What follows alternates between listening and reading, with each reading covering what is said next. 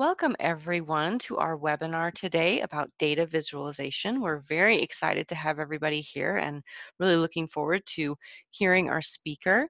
Um, my name is Amber Malinowski. I'm the Director of Content Communications at Weave. And just before we get started, I'll go over a few housekeeping things. If you have never been to a Zoom webinar before, this is what your control panel probably looks like. Over on the far left, you can control if you um, have audio through your computer or through your phone. You can also chat with us if you are having any difficulties or you need anything. And we also, there's a way you can raise your hand. We have most of our questions come in through that Q&A area, especially at the end. So if you have questions for the presenter, anytime during the presentation, you can pose those there. And we will also have a, a section at the end where we'll read those and she'll be able to answer. We will be doing a couple of polls right in the beginning just to get to know a little bit more about you. And then if you need to leave for any reason, you can either close out of your window or actually leave the webinar on the far right. We are recording the session today, so if um, you need a copy of that or if you know anyone who would like to watch it after the fact, then you'll be able to access that afterwards. It will also include a PDF of the slides and a couple of other resources that'll be being covered, so we'll have all of that in here. We do have a survey that pops up at the end. We'd really appreciate it if you could take just a couple of minutes. It's just a few questions. Um, give us a little feedback so that we can shape our webinars for the future. And with that, I'm going to let um, Dr. Ray Van Dyke go ahead and introduce our speaker. Thanks everybody for coming. Thank you, Amber. And yes, thank all of you for coming. I'm so pleased to be here and um, presenting this webinar today. If you tuned in with us a couple of weeks ago, we had a webinar talking about um, telling your assessment story, of course, primarily using words. And what we're going to be talking about today, our, our wonderful speaker, is uh, also about telling your assessment story, but telling it with a visualization, which um, is always helpful. Um, you know, so many times when we're passing around um, all, all sorts of, of information that people have to sit and read and go through, and it's it gets kind of difficult to get to the real um, gist of what assessment is doing at your institution or in your program. So you're going to love this. I've seen this presentation. Our speaker is Dr. Courtney Vengrin, who is the Director of Curricular Assessment and Teaching Sport and, and also an assistant teaching professor at Iowa State University and the College of Veterinary Medicine. Um, she has a very varied background, which um, she will, I think, talk a, a, bit about. But if you read the description of her bio, uh, she is a self-proclaimed data nerd and does loves doing this kind of work. Um, I have seen this presentation and I've talked with her a lot, and it's I'm sure going to be something that's going to be very helpful. I I feel like um, at the end of this uh, webinar, you're going to be able to walk away and have several very, very good uh, tools in your toolkit to help with this visualization. So we're so glad that she's here and I'll turn it back over. I think Amber's going to do the polls. Yes, and we should probably let Dr. Vengrin say hello.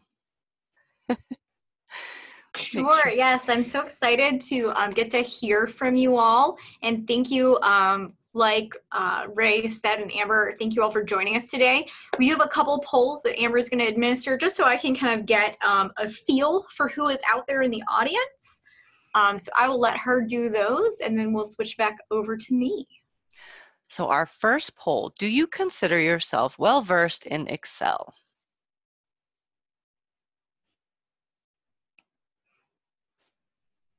This must be an easy question. The, the polls are, it's, it's almost done.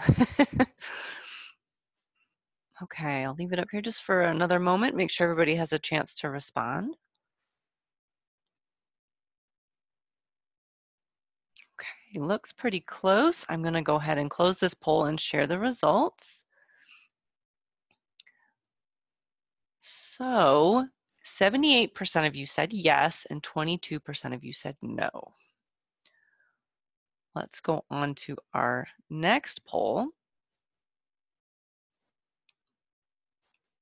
Are you an assessment professional?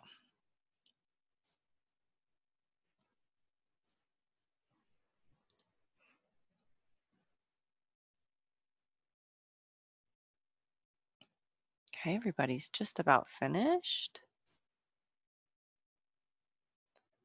All right.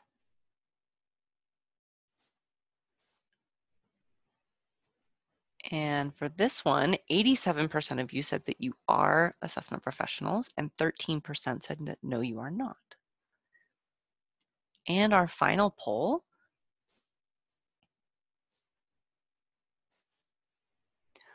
do you feel confident with your data visualization abilities?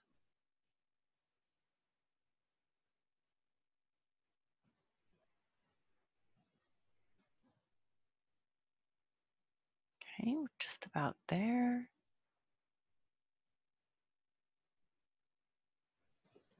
All right, going to share this one as well. So this one's completely different. Um, only 29% of people said that yes, they were confident. 71% that said that no, they are not. So hopefully by the end of our session, you'll have lots of ideas about how to how to be more confident in that. And with that, I'm going to go ahead and turn it over to Dr. Vengrin. Perfect. All right. I'm just going to share my slides here. Perfect. All right, wonderful. Um, well, thank you all for that introduction. Um, like uh, Ray said, my name is Dr. Courtney Vengrin. I'm the Director of Assessment and Faculty Development here at the College of Veterinary Medicine. Um, to be clear, I am not a veterinarian. so I'll talk a little bit about my background and how I came um, to be in this role and uh, involved in data visualization. Um, but by the end of the day, I hope that you're able to um, have some resources and methods, ways that you can visualize your assessment data. And thank you all for filling out those polls. That kind of helps me. I've got an example I'm going to go over. Um, and that kind of helps me um, think through um, how I'm going to present that to you all in a little bit.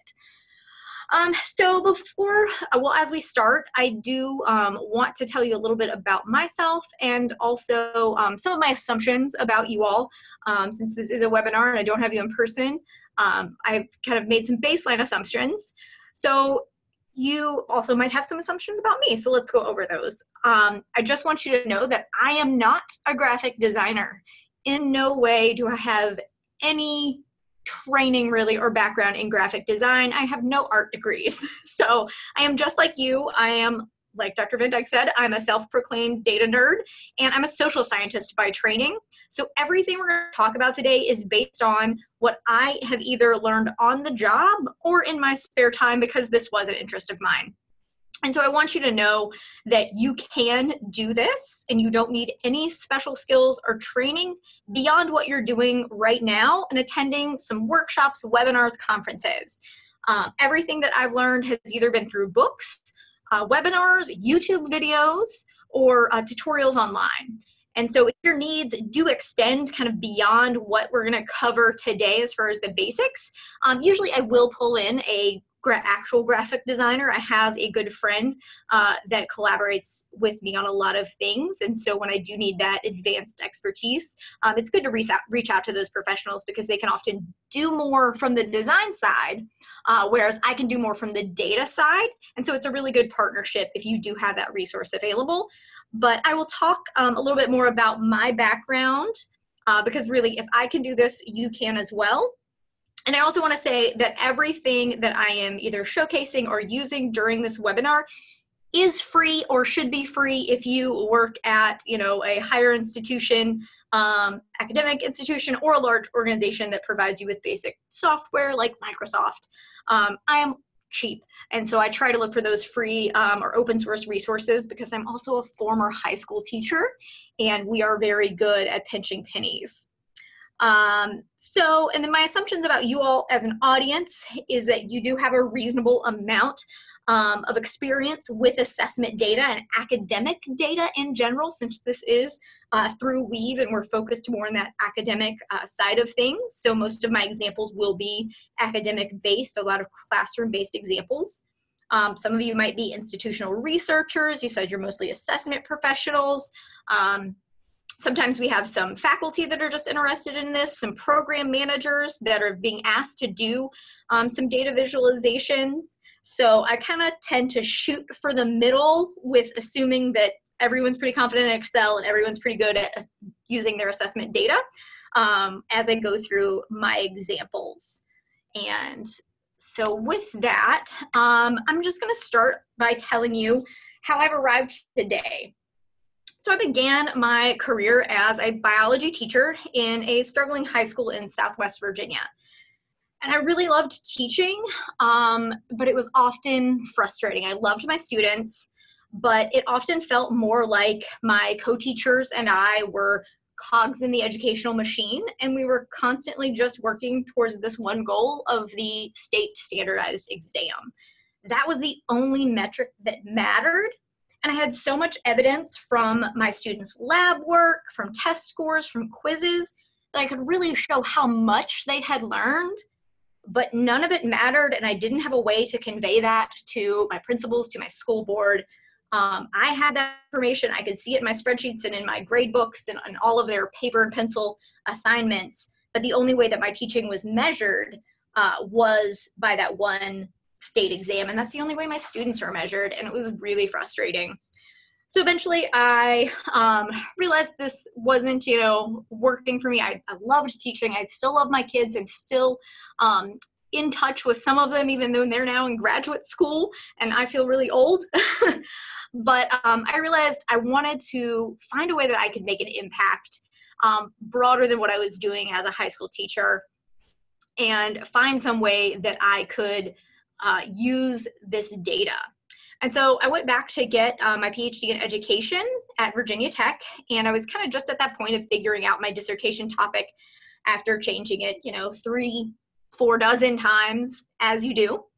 Um, and so I knew I'd wanted to focus on evaluation and education or assessment, uh, but that's as far as I'd gotten. And so my university was having this uh, evaluation person come to speak. So I thought, you know, I'll go take her workshop since the department was paying for students to go and there was probably going to be free food, you know, graduate student motivation there.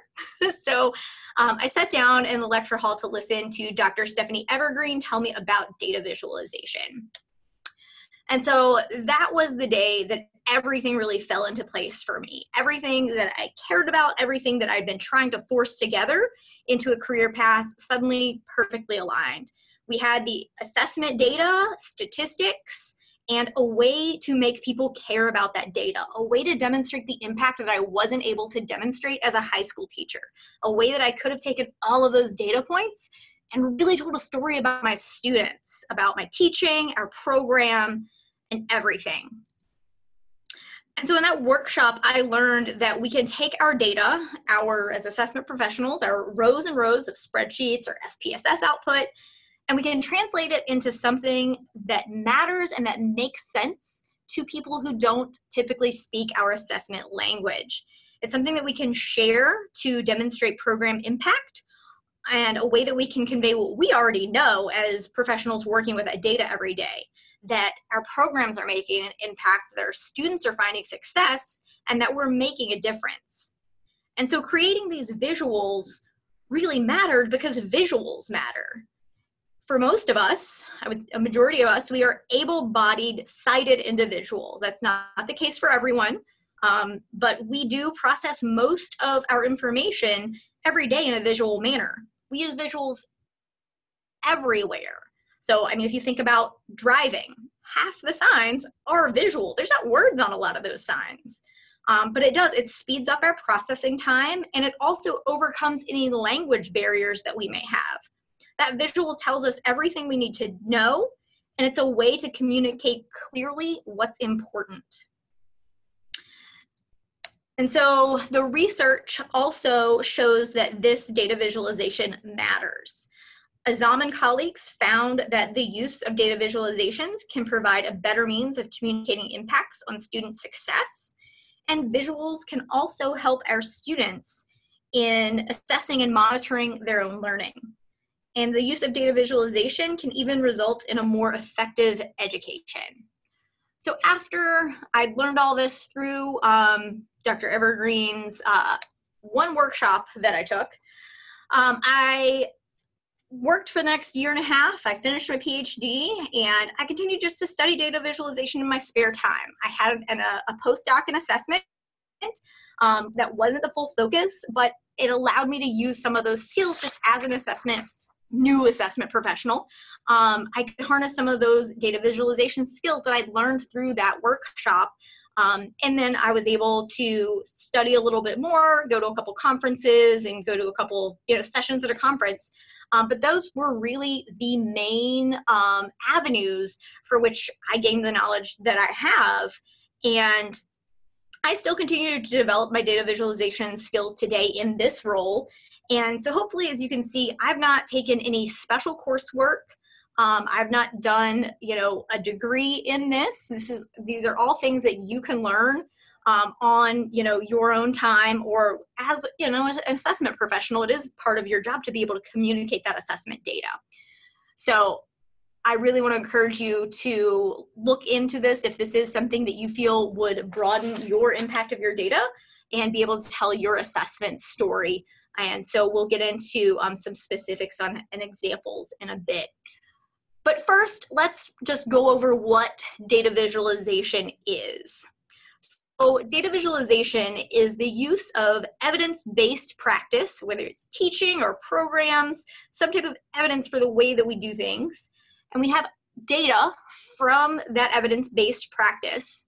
And then when we combine that with a visual, we're able to tell the story of that teacher, of the classroom, of the student, of the program, or even of your college. So it's a really impactful way that we can get across um, the information that we have in those spreadsheets um, to a broader audience who may not be as involved with our program. So let's look at an example. So here's an example. Uh, we can see the data about student performance in, this is a pretend biology course, I should also say.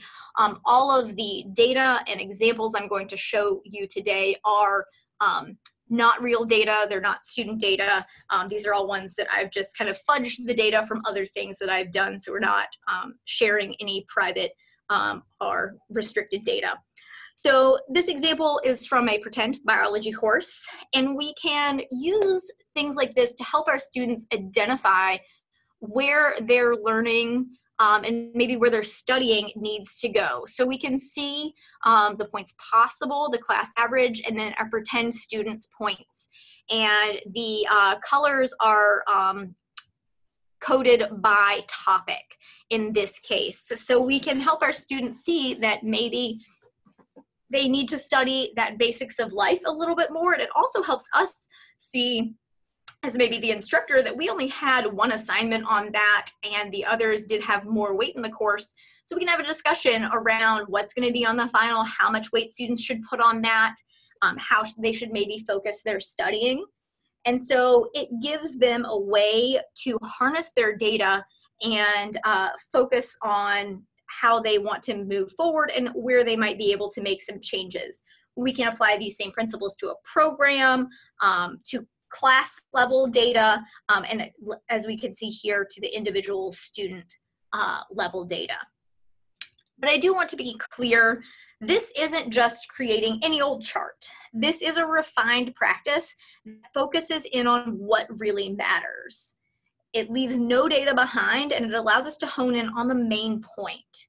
And so we're going to look at another story now. This is a pre and post opinion survey from a space science course. So this is a more traditional example of a data visualization. So we have two data sources here, our before and our after, and we have two bar graphs. And so this is good. This is a data, this is a visualization of our data, but it takes a lot for me to understand the story here. It takes a lot for me to understand what this person wants me to know about their course, about this question. And so if we apply some basic data visualization principles, we can see that this is the same data, and we can see that there was a statistically significant increase in the amount of students that strongly disagreed with this statement, statement that space is basically a cold and empty place uh, before and after the course. And so that statistical significance is indicated by the red line there. Typically I would have, you know, a little um, piece underneath that uh, explains that that's our statistical significance one. Um, and so we can see that we had a change in the student opinion by highlighting that one line. um, we had a change in the way that they view the world. And this tells me a lot more than a test score. This tells me where I have actual statistically significant change. So we can kind of see the uh, differences here. Uh, we do probably just have this data in our spreadsheet somewhere. Most of us have spreadsheets like this. And if we use the right visual, we're really able to tell that story uh, in a much faster way because our audience isn't having to do comparisons. We're doing the comparison for them.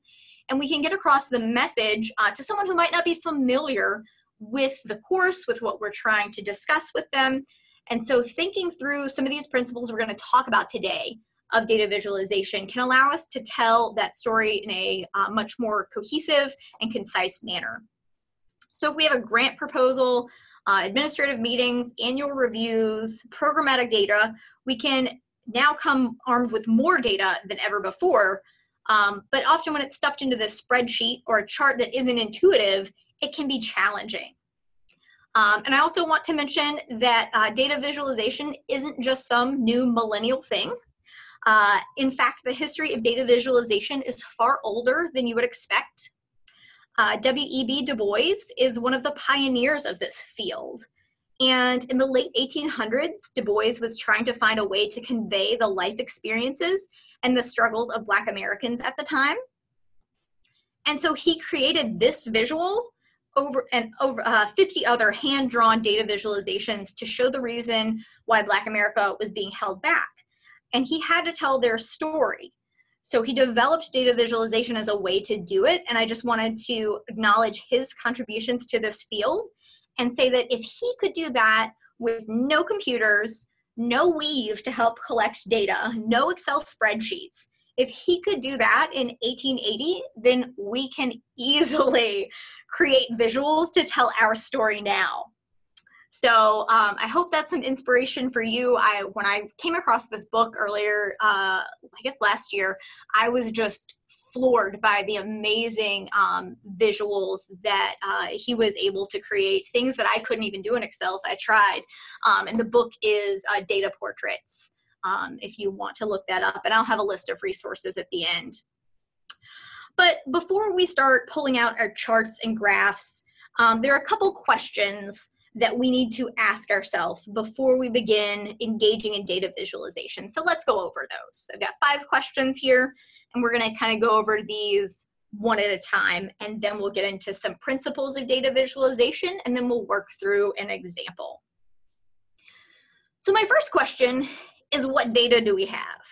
Uh, like Ray said, uh, we've previously talked about qualitative data with the speaker last week.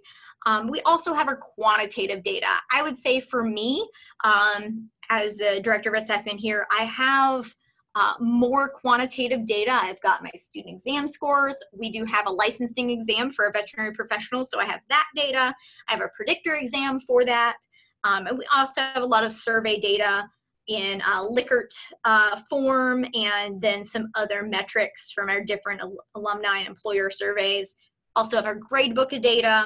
So we have a lot of quantitative data that I can think through about what message I need to convey. But we also do have that qualitative data. Um, comment sections are one of my favorite things to create a visual for, and also uh, timelines. It's another really good visual. But as we kind of collect in our heads all the different uh, pieces of data, we also need to think about is there more analysis to be done? Is that data ready for visualization? And as most of you are uh, assessment professionals, I would assume that you're the ones that are doing that analysis, either in SPSS or however you do it. Uh, but thinking through what visual, what do we need to create? Do we need to do additional statistics on this? Do we have those um, statistical significance uh, figures if we need those?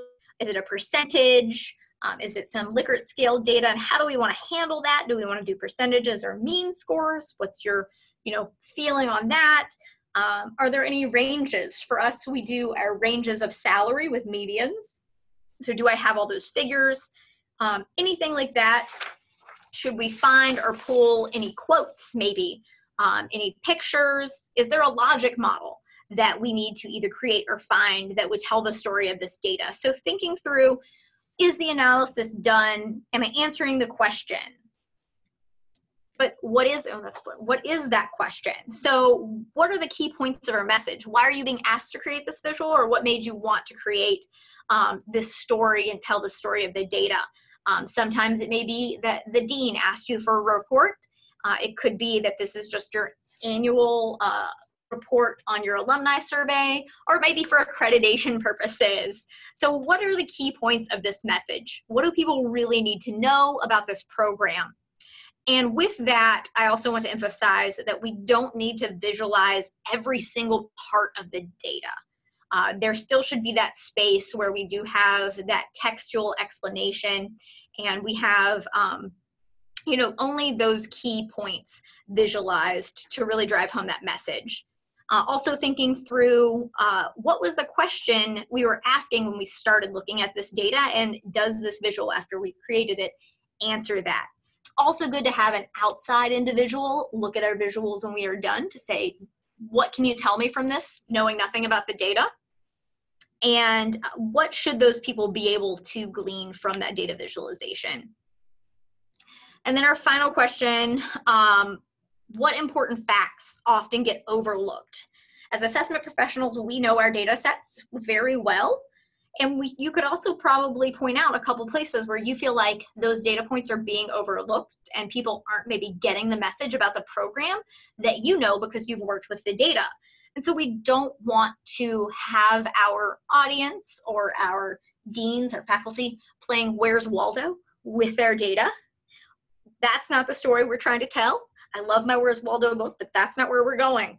Uh, so we really want to be able to make sure that there, if there are any muddy points, we're able to make those clear with visuals. And if there's anything that we know that's often overlooked, that we can uh, focus in on that information. So what does a good visual look like? We've thought through all our questions, we have our data analyzed, we know the message that we need to tell. Now, how do we tell it? And so once we've answered those questions, we can start crafting our visual. But it's helpful to have some principles to go on. So I've taken these principles of good design. Uh, these were uh, drafted by Dieter Rams, who is a well-known architect. And I've kind of modified them a little bit for the world of data. So um, his principles um, here, the first one is uh, good design or good data visualization is innovative. So, how we're visualizing data now is very different than the 3D graphs of the 90s and the pie charts. And we will continue to innovate and develop better design to tell the story of our data um, as we move forward. So, it should be innovative and it should be um, modern and current. And then uh, good visualization, good design should make that data useful. As assessment professionals, I find that most of us are very passionate about the use of our data, and that data was collected to be used. It was analyzed to be used. You ran all of those tests and combed through that data set to make sure that there were no errors so that it could be used. And so this visualization process should make that data useful find it's one of the biggest reasons to engage in data visualization. And our visuals should also be aesthetically pleasing. We want people to do more than glance over them. We want them to engage with them and really understand the meaning of that data. Also, good, well-designed visuals should make the data understandable. Sometimes, like I've said, those rows and rows of spreadsheets, are a headache. Sometimes we actually miss connections ourselves, even though we are the assessment professionals and we know that data. Good design helps us understand our data. And so sometimes we make those visuals just for our own uh, knowledge so we can make sure that we're not missing anything. And then good design should also be unobtrusive. Good visuals are unobtrusive. They don't distract you with unnecessary outlines or 3D images or animations or loud colors. They should act as a microphone, not a megaphone, for your data. And this one is especially important, and I think all of us as assessment professionals could agree that good visualization, good design should be honest. We've probably seen this more than once that your visual or someone's visual, hopefully not yours, has maybe an altered axis that makes it look a little bit different than it would if that axis maybe started at a true zero. And so we never want to use a visual to make our data something it isn't. Um, I've seen people dissolve whole categories just to make the visual fit, and that's not good design. It should be honest. And our good, well designed data visualization should be long lasting. We saw the example from the 1800s, and I would say that that visual is very long lasting. 10 years, 20 years from now, uh, we should still be able to look at that same report and understand it. Um, they, our visuals are not fashion. They are tools that should be able to stand the test of time, um, as W.E.B. Du Bois's have. And our design should be thorough down to the last detail. And we'll look at this when we go over our example. Um, this means every aspect of a graphic is considered. The shape, the balance, the color, the font, and the size of that font, as well as the data. Everything should have some attention paid to it as you're moving through the process. And then this one, uh, his principle was that it's environmentally friendly. I find that most of our visualization and most of our assessment work is, as we're mostly computer based um, at this point. So I kind of changed this to be economically friendly, uh, which I mean by that, I mean your time. I think it's important that our design efforts also be economical. This shouldn't be where you spend a bulk of your time, and this should be something that you can find the time to do um, with minimal expense. Uh, and with that, there are several ways that you can, if there's data that you often work with, for me, I'll go back to my example of our alumni surveys. We do it every year. So I have files set up as templates so that I can import my new data, and those visuals are ready to go. And I don't have to waste any time um, recreating them every year because I know it's something that I'm going to need every year. And then finally, our uh, design should involve as little design as possible. Less is more, and you don't need to over design or over color or overthink your visuals. We don't need those shadows and backgrounds um, to drive home your point. Only the essentials should go into those visualizations. And I will have this as a PDF for folks. Um, we will have that available for you to download as well as a PDF of the slides and resources. So these principles are well accepted in most areas of design, architecture, um, and in print design. And so I'll reference these as we go through this example and look at some different charts. So here's the example we're going to walk through. I have this just as screenshots um, in this PowerPoint uh, because I um, have a Mac and some of the clicks and um, menu locations differ from Mac to PC. So for the sake of our large audience, uh, I just did screenshots so we can move through this um, quickly. There are tutorials out there that will walk you through step by step. Um, we'll chat about that in a little bit. But we're going to work through this example. Here we have a set of data from sections of an exam in a course. And so all I've done to prepare the data is to calculate the averages for each section of the exam, the pretend exam. So most of you said you're fairly well advanced in Excel. You probably know how to create a regular bar chart. Took me about two clicks. I can make this basic chart in Excel, and that compares the mean and the points possible. Our chart is okay. It is not fantastic, um, but if I just need a quick look for myself, this would probably work. But if I want to make a point about this test or the data to maybe the faculty member, to the dean, um, to our alumni, I would like to make a few edits to make um, our data stand out and to apply those principles. So the first thing that I want to do with this data set is I'm going to apply my university color palette. So if you are at a university, you do probably have a color palette. If you do not know what that is, um, or some of you may know, uh, as I know uh, Ray Van Dyke is very close to Virginia Tech and he knows their color palette to be maroon and orange. Most universities also have a secondary color palette.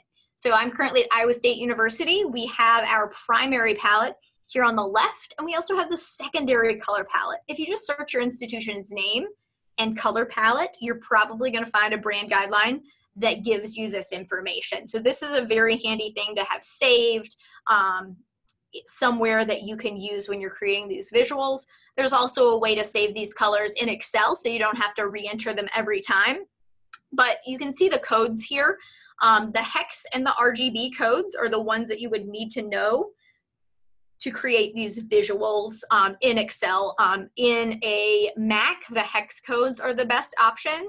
If you have a PC, those RGB values are going to be the easiest for you to enter into Excel to create the color um, so that you have your institutional color palette. And if you're at a separate organization that's not uh, an institution, you don't know their color palette, there are, um, if you have a logo, there are ways to pull the colors out of that logo or ask the person who designed the logo. But I want to apply this color palette to my visual because I want my data to say that this is from Iowa State University. The um, This chart are blue and orange um, for anybody Virginia based. That says UVA to me. And as a Hokie, as a Virginia Tech graduate, I never want my graph to say it's from UVA. so now that I'm at Iowa State, I want to make sure my uh, data does say Iowa State. So here I've applied the color palette. Um, again, I'm not going through the full click through of this. If you know Excel pretty well, you probably know how to change your colors. Um, and if you do need specifics on how to enter those hex or RGB codes, um, you can shoot me an email and be happy to chat with you about that more. But so um, I've applied our color palette, but I'd still like to make this a little bit cleaner so I can better compare my data points. So I'm now going to move the mean, that class mean, to a secondary axis. So a couple magic clicks. And this is a lot better. Instead of my eye jumping back and forth, left and right for each one of those bars, this allows me to move in a linear fashion that's much easier for me to compare. And then I also remove the lines. So I'm gonna go back so you can see the lines were there previously. I removed the lines and it looks a lot cleaner. Um, so I've cleaned up that graph. And so this, uh, using those principles of design, um, I've made it a lot more aesthetically pleasing. And again, with the with using the colors, um, that's our principle of being thorough down to the last detail. And so we have something now that is minimally designed, it's unobtrusive, and it's a lot more aesthetically pleasing. But I'd still like to make a few more edits. Um, we need a title, and the font is tiny. If this was um, in a uh, paper, and an infographic, or on a um, research poster. All right, so that looks pretty good. So we've now utilized our principles of making the design unobtrusive and making sure that we are thorough with that text, with the font, making sure it's the appropriate size. Um, but hypothetically, let's say that I want to draw attention to the pathology portion of this exam the scores were the lowest here and it had the least amount of questions based on this information. So maybe I want to discuss this with the students or maybe um, the instructor in the course or the curriculum committee, but let's draw attention to this portion. And so now we can see exactly what I want to point out. I'm not leaving any data behind and I've made my point very clear. If you handed this graph to anybody, you could ask them, what is this person probably going to talk about? And you would say pathology. And so I can communicate what I know about this, the important information, um, by using those principles of making our data useful and understandable and making the data honest. All of the information is still there, it's still intact. We've just recessed the colors on the ones we're not talking about today. So, in this meeting, in this um, conference, whatever it is, we're clearly going to talk about whatever is happening with that pathology portion. So by using those highlights, um, it really allows us to focus in on what that key message is. So let's go back and look at our first graph. So can you believe that's the same data? Um, for me, the one that we've modified makes a far greater impact and tells a much better story. We can compare um, the points possible in the class mean a lot quicker. We can also tell what our talking point is, what the main point is, um, and then with the either if there's a speaker, if there's a report that has some text, it can elaborate on what the main point is. And so once you learn just a few basic clicks, I can create this visual in about two minutes. I've timed it a couple times. Even going at a very conservative pace, it doesn't take me very long. And again, like I said, you can set up templates so that you can create um, these visuals if there's something that you do often. Once you have harnessed these principles. It's pretty easy to create these, and I'll have some resources that walk you through how to do these things. Because, um, like I said, some of you are Macs, some of you are PCs. Um, so I just went with the screenshots to help you walk through just the idea of why these visualizations might be useful in your practice. Um, so as you can hopefully see, using this data can reveal powerful and profound insights into your teaching, your program, uh, your college, what have you. Data visualization can provide us with ways to view data differently that we might we might not otherwise, and it also gives us a better chance of detecting those obscured patterns and connections. That's so important for quality assessment and to find out what's going on within all of that data. And we do have that data readily available as assessment professionals. That's data that you've generated and analyzed that you can really make an impact for your college, your institution, your university. And so those resources are out there. And so um, here are some resources, and I will also have this as a PDF for you all. Um, Eve and uh, a couple things to point out here. Dr. Evergreen's blog has a tutorial on how to do this. It has the exact steps for making this exact same graph that I've created. And so that's a really good resource um, if you would like, if you have a need to create this one. She has tons of other ones out there, and she also has two excellent books that walk you through how to create these visuals. Um, she does a much better job. I'm not trying to reinvent the wheel, so I just wanted to point you towards that resource. Same thing for Ann K. Emery. She has a lot of design focused strategies and resources uh, that will allow you to create some of these visuals. That way you've got the book, you've got the resource or website that you can refer to again and again. Um, because I find that pretty helpful. You've done it once and then, you know, two weeks later you come back, you don't exactly remember. So I really like to direct people to those resources that they can reference again and again. Uh, a couple uh, other uh, ones here. Color Brewer is a really excellent um, option for accessibility. It gives you uh, color options for colorblind uh, individuals and print color uh, options. So that's a good resource to make sure that you um, are doing what's best for accessibility. And uh, Google Charts has some good options and some not so much, but it's always a good jumping off point for me to think through what charts might be good for my data. I like to look at it um, as examples. And then Data Wrapper is a slightly more fancy version than Excel. Uh, there are free and paid uh, versions of that that allow you to do some data visualizations if you're kind of at that next level, if you're very comfortable with this in Excel. And then Tableau is another option. Uh, it also has a free and paid version. I just want to caution you that last time I checked, Tableau's free version does make your data public, so I never want to put student data in there. So make sure you're thinking through those things. If you are using web-based resources uh, that are free especially, make sure you understand what's happening to that data um, and just make sure you know uh, whether or not it would be safe to put that student data in there. Um, so that's my one caution with Tableau.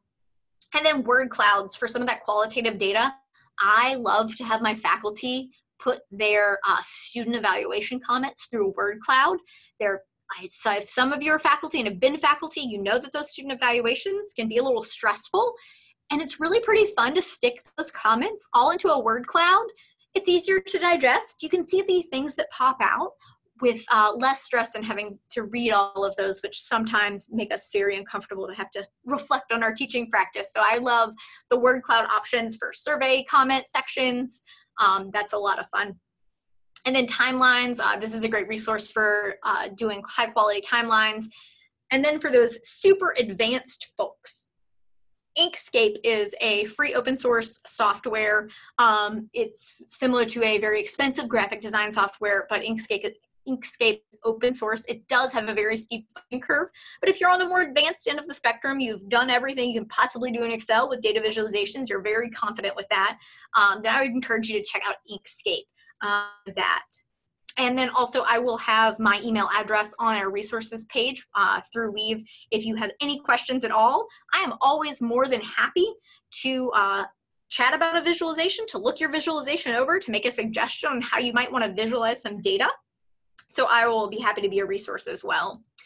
And so in closing, I just want to encourage you all to tell your data story. Don't leave that data behind and find that data that you have the access to through uh, your work, through your program, and find those resources. Watch a YouTube video on how to do some of these things. Uh, go to a workshop or maybe ask a graduate student who's very good at this to help you. Uh, it's something you can definitely learn on the job. I did all of uh, the visuals that you saw today um, just through practice and learning on the job. And I made, made time for it. And it's definitely uh, really enhanced my assessment practice. And it's given me the ability to tell the story of my students and our college in um, a much more impactful way. So I want to encourage you uh, to share the story of your programs as well. And so with that, um, we have some time for questions. So I will turn that back over to Amber. Thank you so much. That was really helpful. I learned a lot. Um, and I know we did have a couple of questions come in.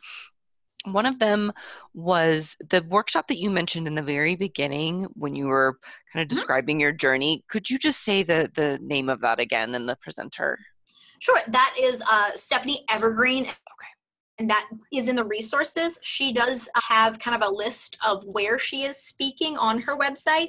And she, um, this was several years ago, but she's also at the, was at the time available to come to institutions to do a two day workshop and training.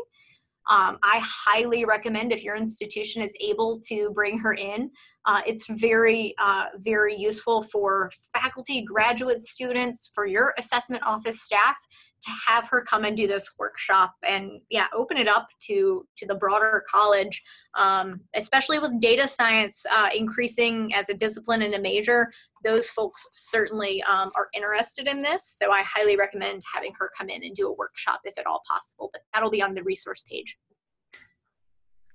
kind of thought that that's what you were going to say but then i thought well i better ask and make sure but that was highlighting that was the very top resource too so that'll all be available when we post all of this on our site. Um, the other one that, that came through um, was if you have a specific software program that you typically recommend, and I'm going to guess that you're mostly recommending Excel.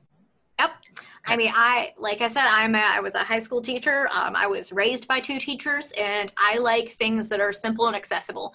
And Excel has um, enough features that I really feel like you can do the majority of high quality data visualizations uh, for assessment, general assessment data, stuff I've worked with every day um, in Excel. Some of those visuals do take um, some additional tweaks and some steps to work through to make them um, really impactful. Um, but those resources are the way that I learned to do that through Excel. And so I really highly recommend um, Excel because, again, also you have the full control over your data. Mm-hmm. I like Tableau, it does some really fancy things that I can't do in Excel but we do not have an institutional license for it, so I do not use it with my student data um, just because I, I need to keep that confidential. Um, but yeah, Excel is absolutely my go-to. Got a few more coming in. Um, I'll read this first one. Most programs submit summary data that may not lend itself very well to visualizations. Do you have any suggestions for how to get raw assessment data or ways to encourage programs to submit raw data to make those visualizations? Sure. So it really depends on uh, your how much pull you have at your institution. Um, but if you're if you're getting summary data um, it may be good to go back to the person that provided that data and say you know for accreditation i'd really like to be able to tell the story of this program. Could you provide me the data on this? And sometimes if it is you know a, a, a confidentiality issue. We certainly understand that. Um, but letting them know what you plan to do with that and why you're asking for that data uh, may be helpful for you in, in gathering that. And it could be that they think that maybe you just didn't want all of that data um, in your inbox, but letting them know this, I'd really like to showcase this. Um, I have some questions about this. Could you give me more information? Just kind of starting that conversation and being very transparent about how you're going to use it and why it's important. Next question, is there an ideal preferred ratio for height and width in charts to avoid distorting slopes, etc.? That's a great question. So, question. um, to avoid distorting them, my main thing is to watch your axis. Excel, although I love it, um, does some automatic axis um, guesstimations for you. So it will arbitrarily set those axis numbers based on the data. So if you have data that's in the 10,000s, it will sometimes start that at an arbitrary number. And so my first step is to check that axis and make sure that that is appropriate and that it makes sense for that data. And then as far as height and width, um, if you're doing it in Excel, the way I typically do it is then I take, um, I pull that out if it's in um, uh, another Excel or Microsoft program, if I'm putting it in a Word document, it translates very well and it doesn't matter how I drag uh, or pull that um, data. It still has the same ratio roughly, but if you change it to um, a picture format, then we can really get some distortions in there. So I recommend keeping that in its um, kind of smart format where it talks to the Excel spreadsheet if at all possible. Mm-hmm. Um, but in general, the other thing you want to think about with that is the white space balance. And so looking to see if we have pulled this too far that we're losing some of that white space and it's getting too um, busy then uh, we maybe need to pull back. And I usually like to keep those, um, you know, to a to a smaller, maybe a, a, two by three format if I'm on a regular um, Word size document.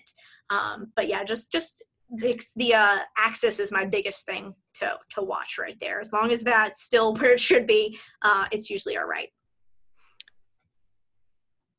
Next question what are some of your tips, maybe like your top tips in Excel for people who are beginners and then people who are maybe a little bit more intermediate?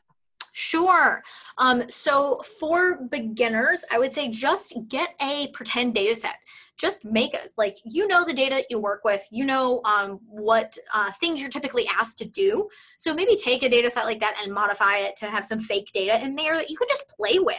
And so make some different visualizations, look at uh, Dr. Evergreen's website and kind of work through some of those examples with that data so you're more comfortable um, with making those graphs because once you know those different types of graphs, you can think, oh, I have programmatic data from this survey. This would be great in this type of graph. This really shows the key points um, in this way. Or, you know, I need to show some data about um, different, our we do our um, graduate salary averages in different states. How do I do that um, in a graph? And think of those things that you typically work with and just play with the data.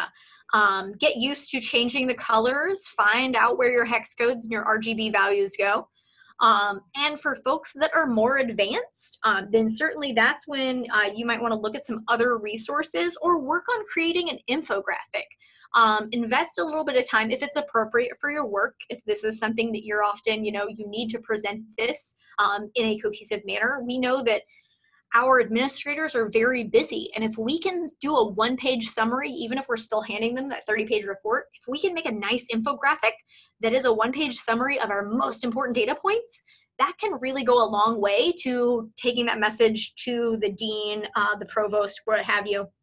So I'd say look into um, how to create infographics and um, Inkscape is the is the way that I typically do that and that is uh, kind of our higher level um, design. And then also I, sh I should put that on there. Let me write myself a note. I'll add Canva is another excellent resource for creating infographics. Um, it does have a free version. Um, it's a little, you have to do a little modifying to their resources, but I have done that a couple times. So I will add that into the, um, to my resources thing before I send it over um, for Weave to post. That's a really good resource for creating those infographics and uh, those kind of one pagers to get the point of your program across. So Amber, can I um, throw in something real fast? Of course. um, first of all, Courtney was absolutely wonderful. So much, so much to learn. Um, so, so much to be helpful. Um, but you know, something that you said just kind of struck me, and that was when you were talking about this notion of if you could bring this particular speaker or anyone to campus to talk about this work. And I'm thinking about this whole notion of data visualization and how it really is a common topic that would be a great way for us to engage with faculty, not just about assessment, but about teaching and learning in lots of different ways.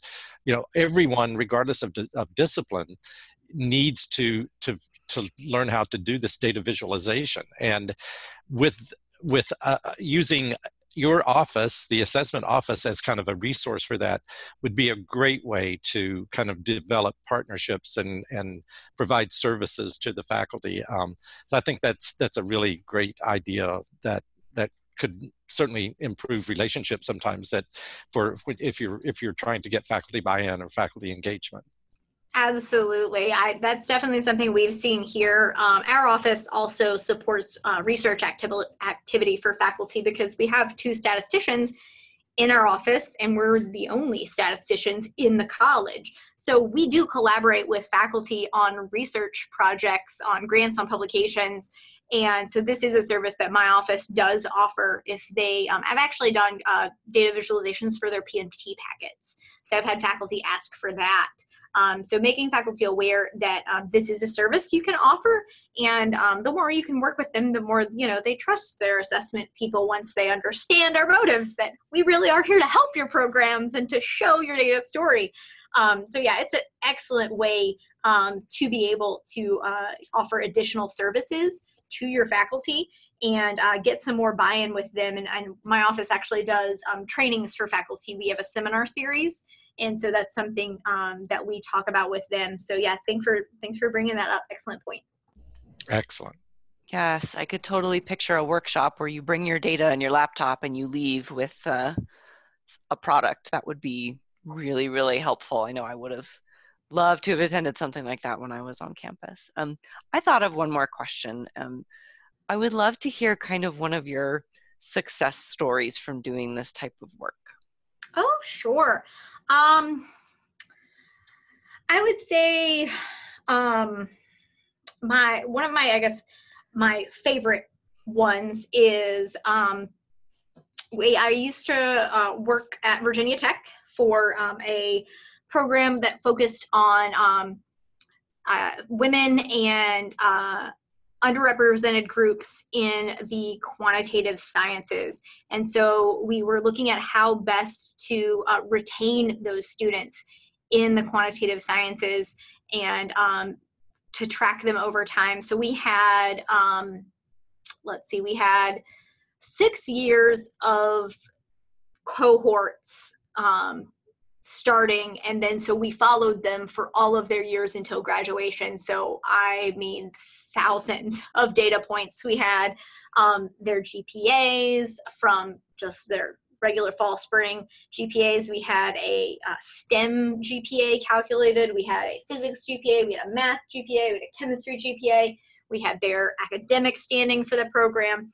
I mean we have so much data on those uh, students. And so uh, it, it, was based on a grant and you know all like all grants they end at some point. And so the program we had to really make the push to the college to adopt the program. And so uh, we were able to um, have discussions with the college and show them uh, where that data was coming from and sh- that we had success with these students that we were able to retain uh, women in the quantitative sciences and uh, underrepresented groups and really prove to the college that this was a program that was working. It was worth supporting uh, with their funding now that the um, grant funding was ending, and to let them know that, that this would be a very big um, you know impact for those students and for the program you know as part of the the mission and to have them adopt that. So it was really amazing to be able to provide that information to drill down through all of those thousands of rows of spreadsheets uh, to be able to identify the impact that that program had made on those students and to show the college that it was worth their investment to keep the program going. Um, so yeah that was definitely one of my my favorite opportunities but um, I just want to let folks know I will be available. My email address will be um, there for you all. If you have questions or if you want to chat more, I'm happy to, to zoom in um, with anyone who has an additional interest in this. If you do have more specific questions about your specific data, I'm always happy to chat about that. We're getting lots of thank yous in the uh, chat box and in the questions. So I think you were very thorough and people are excited to maybe go back to their desk and begin this work. Um, just to point out to everybody where these things will live on the Weave site, um, our address is weaveeducation.com. You go over to Knowledge Center and click, and then just make sure that you scroll down, and this will will move down into here, and you'll be able to open it up, and it will have um, You'll also get this in email if you registered. So you'll have a link to the recording and the PDFs of the presentation and the other resources that Dr. Vengrin mentioned. And so I'll be sending out an email with all of that by the end of the week. So you have all of that. Feel free to share it with others if you knew somebody who would have enjoyed this and couldn't come today. Um, if you're interested in other webinars, we did mention the one that we had last week um, about telling your story, um, your assessment story kind of more um, verbally, more of a narrative, and that was a really good one too. And we have all kinds of resources in here. All of this is completely free, and we really appreciate Dr. Vengrin and these other experts um, contributing to the community in this way. Uh, thank you again for coming. We really would appreciate you filling out the survey just so that we can continue to provide information that's useful for everybody. If you have any questions, please don't hesitate to contact us. Um, we very much enjoyed hosting you. Thank you to Ray and Dr. Vengrin. And we also have another one of our team on the call, Brianne. She's the one who makes all these fun pages and sets up the Zooms. And so she does all that really important work behind the scenes. So we appreciate her too. Thank you so much. Thanks. Thanks so much, Amber. Thanks, Courtney. It was wonderful. Thank it was. you all. I learned a ton. Thank you very much. Everybody have a great rest of the week.